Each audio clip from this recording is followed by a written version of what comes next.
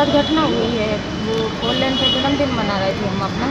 Brand रूप थे सब लोग और ये पुलिस वाले गए जो सिविल लाइन के तो वो उठा के लाए हम दोनों को। ब्रांड लोग थे हम लोग चार लोग। वो उठा के लाए।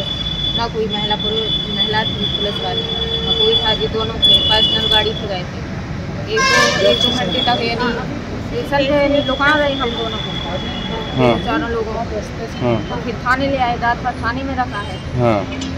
हम दोनों का यानी झगड़े में केस बना दिया कि आप इसमें तुम दोनों लोग लड़ रहे हैं और मेरे दोस्तों से पैसे ले लिए अस्सी हज़ार उन लोगों ऊपर केस बनाया है क्या? उन लोगों पर? हाँ उन लोगों के ऊपर केस बनाया अस्सी हज़ार रुपये भी ले लिए। और आप लोगों पर? हम लोगों पर एक सौ इक्यावन केस बनाया है। हाँ। जमानत भी करवाई एक एक दिन एक रात रहे जब आपको पुलिस ने पकड़ा तो महिला कांस्टेबल कौन थी? नहीं कोई नहीं थी। कितने पुलिस वाले थे आपके? दो लोग दो लोग क्या बोले थे वो वो गिरफ़्तार करे रहे और फिर एक तरफी से यानी अंदर किया था। बोला कैमरा में आ जाओगी एक तरफी हो बाहर नहीं निकाला बाहर निकल रहे थाने की तो बोल रहे कैमरा में आ जाओ। ले जाकर टीआई से क्या बात हुई? टीआई उनने कुछ नहीं बोला वो भी बदतमीज से बात कर रहे हैं कि धंधे वाली है ऐसा रात में घूमती हो चाहे चालान करती है आप जेल में डाल दो इनको। आपको आप लोग क्या इस तरह के व्यापार कर में लिप्त हो गया? करती हो तभी तो ये नहीं बुरा लगा है। और रात भर थाने में रखे रहे रात में पूरा दिन भी पूरा रात भी। भूखे भी प्यासे भी बच्चे भी अकेले रहे हैं घर आज एसपी ऑफ़िस आई क्या आश्वासन दिया साहब ने? साहब मामला क्या था? तुम्हारे साथ घटना क्या हुई? घटना ये हुई कि बर्थडे मना रहे थे हम इसके फ्रेंड मेरी फ्रेंड है फोर पे। पुलिस वाले पकड़ के ले आए थे। रात भर थाने में रखे जो पैसे ऐसे थे गाली गलौज करके पैसे भी ले लिए। मेरे फ्रेंड को अस्सी हज़ार रुपये उससे ले लिए। और मतलब चौबीस घंटा रखा शाम को सीधा वो चालान कर दिया था जेल का। हमने जमानत करवाई। कोई महिला था महिला होती है? महिला पकड़ने जब भी नहीं थी सुबह आई थी महिला छः बजे। आपके साथ बदतमीजी भी हुई है हाँ, क्या? बदतमीजी भी हुई है। हाँ। टीआई साहब का क्या रोक था? किस तरीके क्या कह रहे थे? वो भी मतलब बदतमीजी से बहुत बात कर रहे थे। वो भी ये कह रहे थे कि इन जैसे धंधे करने वाली हैं जो फलान ठिकान और इनको अंदर कर दीजिए कोई वो नहीं है यहाँ पे रखने का। मतलब आपको उन्हें धंधा वाली कहा? हाँ। तो इस तरीके का कुछ है आपके कोई रिकॉर्ड वगैरह कुछ ऐसा? है सर ऐसा तो नहीं है मेरा कुछ नहीं है। बच्चे पाल रही रह रही मेरा ऐसा कुछ है ही नहीं है। क्या आज एसपी ऑफ़िस को ज्ञापन दिया है आपने साहब ने? क्या क्या बताया है? सर जो मेरे साथ हुआ है मैंने वही बताया है।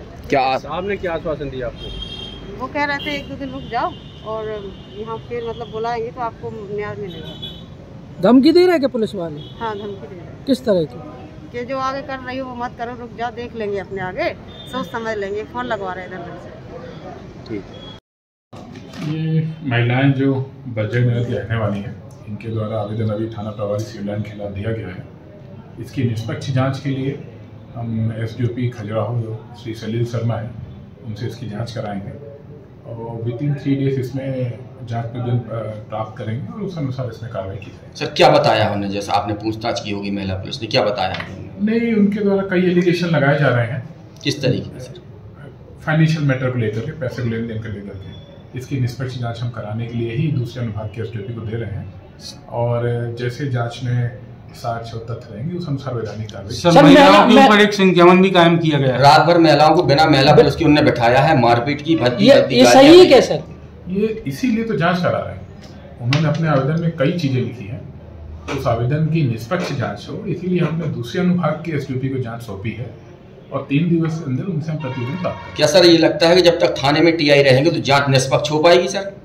बिल्कुल निष्पक्ष होगी क्योंकि इस अनुभाग के अधिकारी को नहीं दी गई है। दूसरे अनुभाग के अधिकारी इसमें निष्पक्ष जाँच करेंगे और टीम भी बनाई जाएगी टीम में महिला अधिकारी भी रहेंगे। सर महिलाओं को महिलाओं को धमकाया भी जा रहा है टीआई द्वारा फ़ोन लगवाया जा रहा है किसी पुलिसकर्मी को महिलाएँ बता रही हैं इस तरीके का दबाव बनाया जा रहा है सर। नहीं मेरे सामने अभी जो महिलाएँ कंप्लेंट करने आई थी ऐसा उनके द्वारा कुछ नहीं बताया गया है। आवेदन ज़रूर उन्होंने कुछ गंभीर शिकायत करी है इसीलिए हम इसको निष्पक्ष जाँच करेंगे।